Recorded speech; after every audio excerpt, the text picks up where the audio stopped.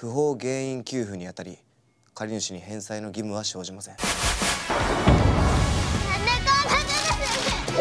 もうヤクザじゃないんです覚えとけ。法は人間を救ってなんかくれない。パパなんて大嫌い。顔がぴったりっちゅうんじゃ覚えとけ。一生かけても我らを潰しやるけこのぴったり